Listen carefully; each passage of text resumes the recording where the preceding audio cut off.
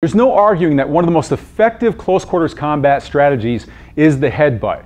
Very, very effective at totally just annihilating your attacker and stopping the fight in a split second.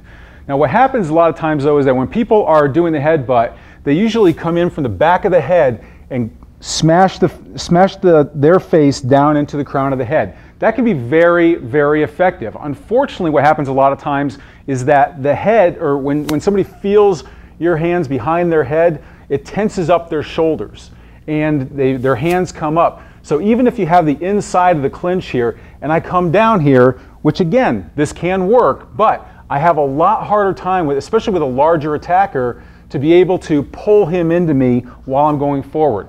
Does it work? Yes, it does. But the best and the most effective knockouts that I've seen, both in person and in fights that are caught on tape, have to do with a headbutt that comes from a shirt grab, from a whiplash motion. And here's why it works so well.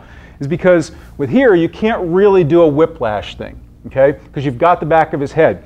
However, and his shoulders are tense. But from here, when you grab the shirt, and this works very, very effectively, especially if they're not if they're not um, expecting it. You know, you're kind of in this situation where it's chest to chest. You grab, push, bring it down, right into your, uh, the, the crown of your head. But even if you have some sort of resistance from it, here's what happens, and here's, here's why mechanically this works so well. Come here a little bit more. Okay.